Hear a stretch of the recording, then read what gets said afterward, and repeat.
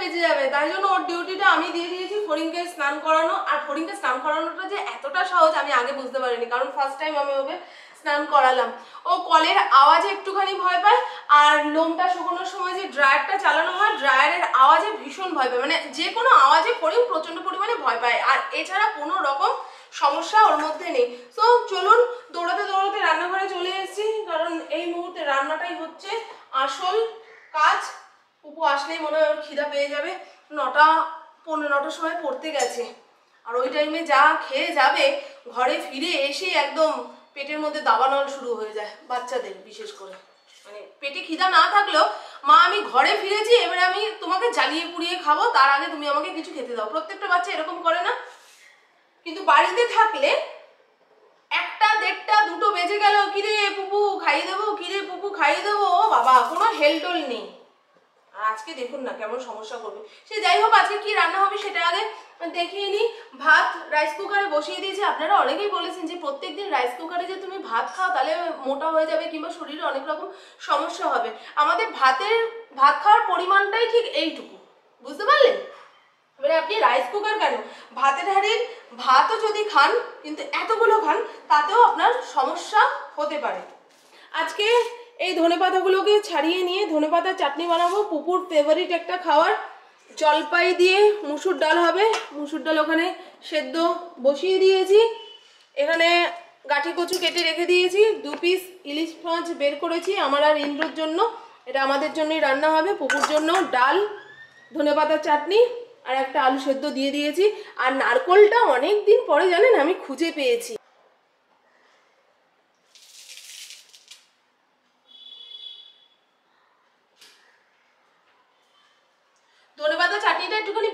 পরিমাণেই করব। আর খুব কচি টাইপের যে ধনেপাতাগুলো আছে, সেগুলো দিয়ে চাটনি বানালে খুব ভালো হয়। আর যেগুলো ডাঁটি প্রচণ্ড পরিমাণে মোটা হয়ে গেছে, কিছুদিন পরে সেগুলো দিয়ে ফার্নিচার বানানো যাবে মানে কাট কাট ডাঁটি। সেগুলো দিয়ে যদি ধনেপাতা চাটনি বানান একটু তিতকুটে লাগে। বুঝতে পারলেন? এই শীত পড়ার মুখেই যে ধনেপাতাগুলো ওঠে, এগুলো দিয়ে যদি ধনেপাতার চাটনি বানিয়ে ফ্রিজের মধ্যে স্টোর করে রেখে দিতে পারেন, যখন তখন আপনার কাজে লাগবে। আমি তো সেটাই করব। আর আমাদের কুকুর খুব প্রিয় ধনেপাতার চাটনি।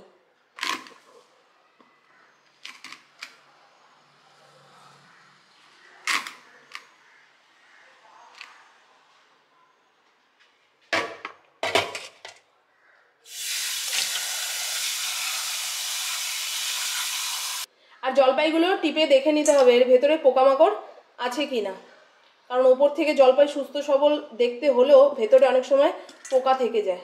সেই একটা আঙুলের খোঁচা দিয়ে দেখে নেব অহ।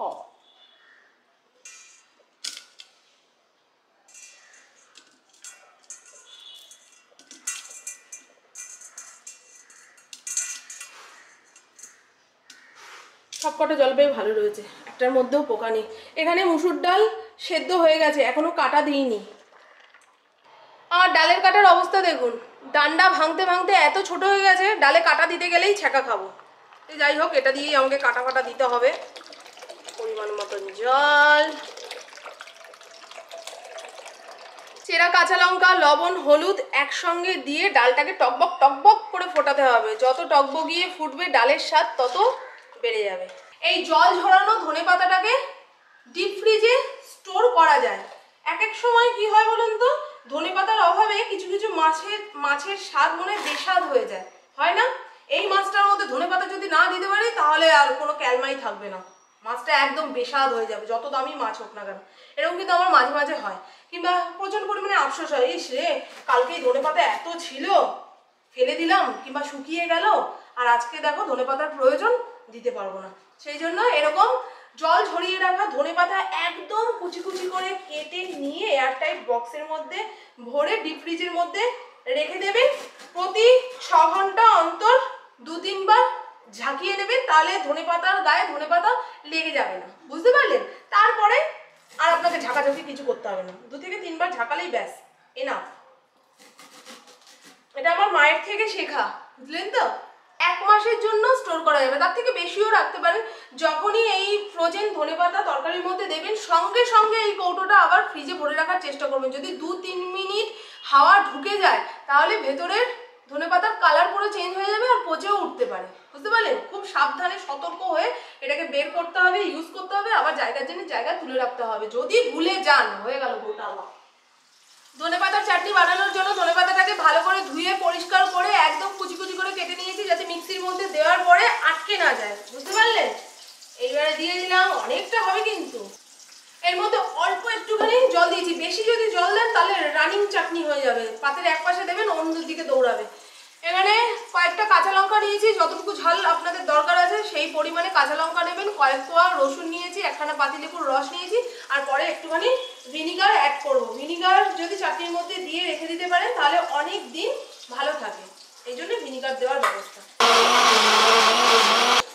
এইবারে দেব পাতিলেবুর রস। পাতিলেবুর রস দিয়ে পেস্ট বানানোর চেষ্টা করবেন না, তাহলে কিন্তু তেতো হয়ে যাবে। বলে না, লেবু চটকাতে চটকাতে তেতো হয়ে যায়, সেইটা হয়ে যাবে দেব সর্ষের তেল আর লবণ। অল্প একটুখানি সর্ষের তেল।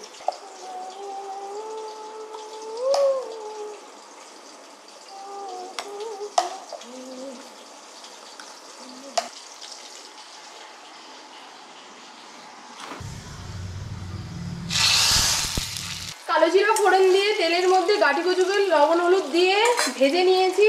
এর মধ্যে জিরের গুঁড়ো, হলুদ গুঁড়ো, চেরা, কাঁচা লঙ্কা দিয়ে নিয়েছি। মশলাটাকে দিয়ে ভালো করে কষিয়ে নিয়ে পরিমাণ মতন জল দিয়ে আগে থেকে ভেজে রাখা ইলিশ মাছগুলো ছেড়ে দিয়ে টকবক করে ফুটিয়ে নিলে হয়ে যাবে গাটি কচু দিয়ে ইলিশ মাছের ঝোল। ফরিংকে স্নান করিয়ে দিয়েছি। পুপু এসে দেখেই বলছে, ওকে স্নান করিয়েছো? দেখে তো মনে হচ্ছে না। পুপু যেহেতু স্নানটা করায় ও যদি একটুখানি জলের ছিটা দেয়, তাতেই নাকি ফড়িং পরিষ্কার হয়ে যায়। আর আমি এত ঘষাঘষি করে, মালিশ পালিশ করে দিয়েছি, ফড়িং নাকি পরিষ্কারই হয়নি, দেখে বোঝাই যাচ্ছে না যে ফড়িং চান করেছে। বাবা, ওরকম মনে হয়, জানিস তো? মানুষের খাটনিটাকে একটুখানি সুনাম করতে শেখ।